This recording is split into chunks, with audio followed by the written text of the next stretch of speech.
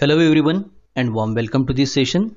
In this video I am going to demonstrate you very simple and the popular spatial domain image enhancement methodology that it is power law transformation when implemented into the MATLAB environment.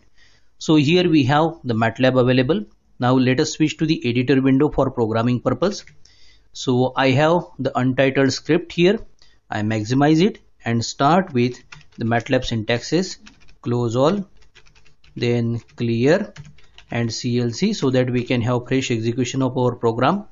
Now I'm just mentioning a comment line for what purpose this program is to be implemented. So I just mention here program to demonstrate the power law transformation. So for processing the image as per the power law transformation formulae we need one image in our MATLAB environment. So that is why we need to read the image from the current directory or current folder. So the first module it will be to read the input image. So I generate a variable capital A with the MATLAB syntax imread followed by a pair of parentheses inside which in a pair of single quotes we need to specify the file name along with its type. So I'm just going to access coconut.bmp the image dataset that is available in our current folder. Now after reading this particular image we will be proceeding further for formulation of the power law transformation.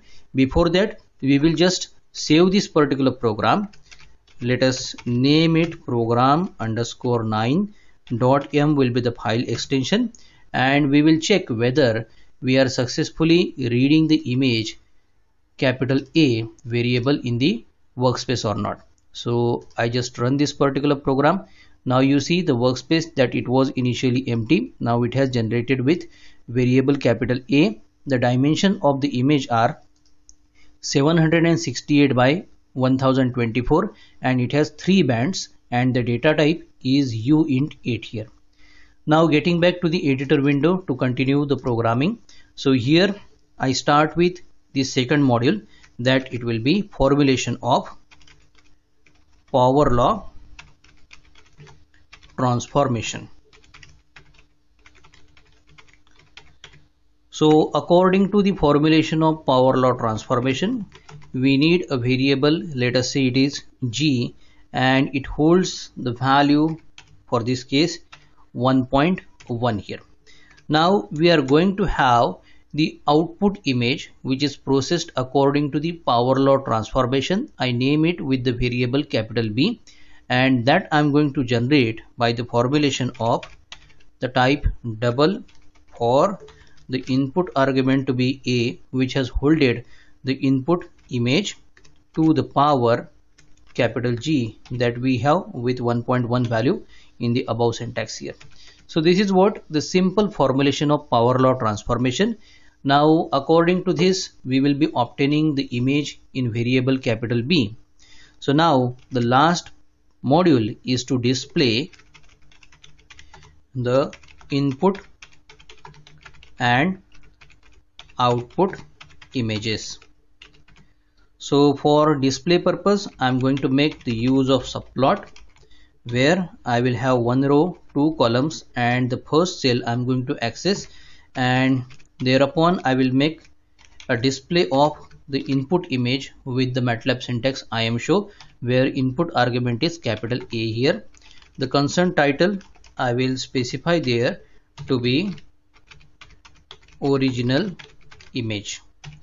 By the second line I will go for accessing the last cell of the subplot. So it will be 1 comma 2 comma 2 thereupon also I am going to use the MATLAB syntax imshow and as the capital B the output image is in double data type.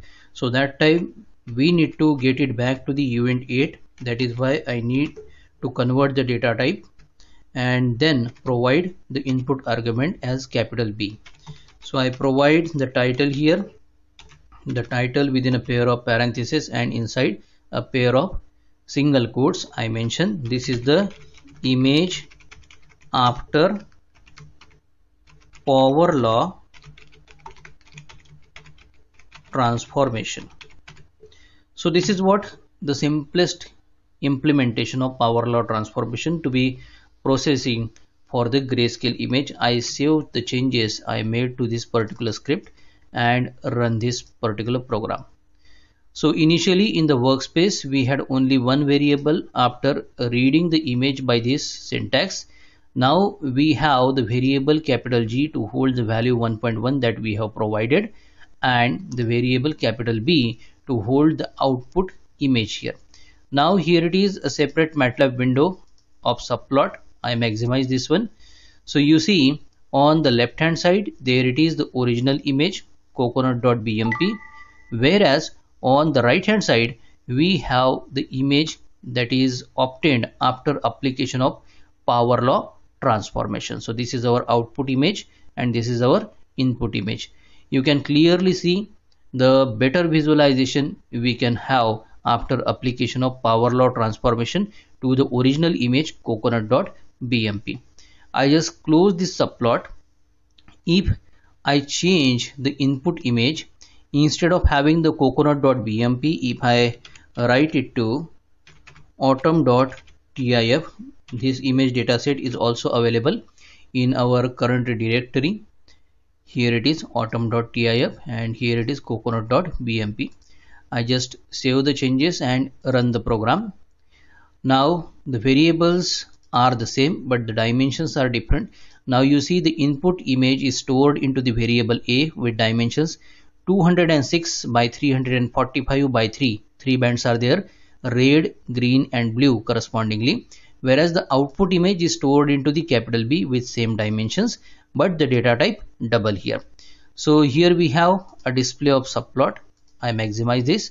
So this is what the original image and after application of power law transformation to the original image you see a better visualization as output or the resultant image. So this was the simple demonstration of power law transformation which is a spatial domain image enhancement technique. Thank you